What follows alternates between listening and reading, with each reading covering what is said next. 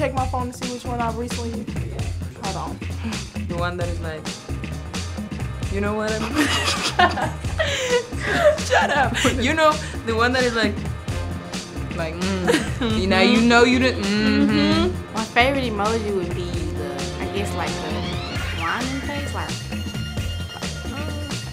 I ain't got no favorite emoji. I got two actually. Mine the one with the glasses. Cool. Okay. put Fist up with Yeah, with the with the yeah. the sad smirk.